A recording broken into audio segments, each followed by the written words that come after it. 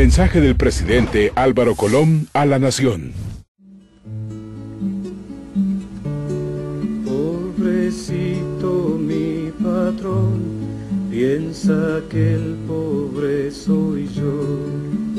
La, la,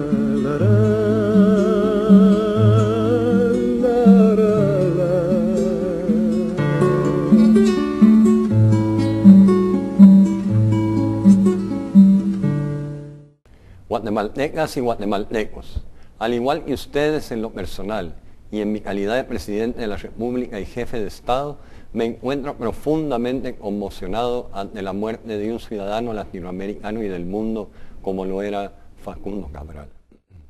He estado atento y comparto plenamente el sentimiento de dolor e indignación que los más diversos sectores del país han manifestado ante la muerte violenta de Facundo Cabral.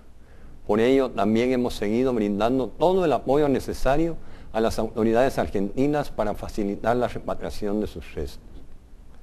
He estado reflexionando profundamente y a pesar del dolor, me doy cuenta que la última contribución de Facundo Cabral a Guatemala fue precisamente sacudir las conciencias, estimular las voluntades e invitarnos para que nos unamos todos y todas contra el crimen organizado y la violencia el Gobierno de la República, el Ministerio Público, el Ministerio de Gobernación y la CICIG continúan sus labores intensas en las investigaciones que permitan identificar a estos criminales responsables de este condenable hecho.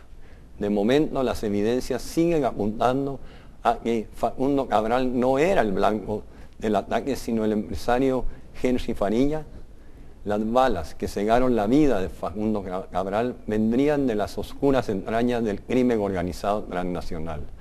Hace apenas dos semanas, la Conferencia Internacional de Seguridad de Centroamérica nos daba datos alarmantes del poder del crimen organizado en la región y nos recordaba el entrelazamiento entre la violencia armada, narcoactividad, prostitución, trata de personas y lavado de dinero y nos recordaba que solo en unidad, gobiernos, sociedades y comunidad internacional seremos capaces de enfrentar y vencer a estos mercaderes de la muerte.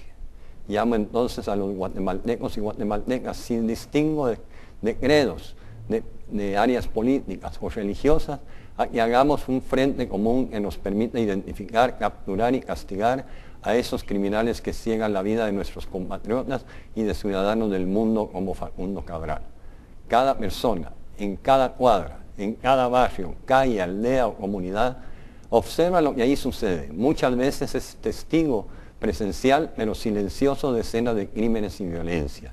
Si nos unimos y contribuimos a informar y denunciar estos hechos ante las autoridades, estaremos dando pasos importantes para perseguir y castigar a los delincuentes. La denuncia ciudadana y los esfuerzos del Ministerio Público y del Ministerio de Gobernación ya nos han permitido que hoy estén en la cárcel siete de los diez narcotraficantes más buscados en Guatemala, cuatro de ellos buscados por la DEA. Que hayamos capturado a más de 80 cetas y hasta que se resuelva con eficacia casos como los de San José Pinula.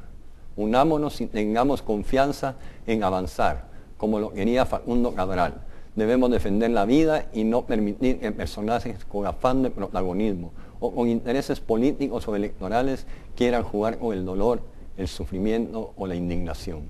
Facundo Cabral, Guatemala agradece tu legado y tu último llamado encontrará conciencias y voluntades fértiles para luchar en armonía y unidad nacional ante la muerte y el crimen organizado. Buenas noches.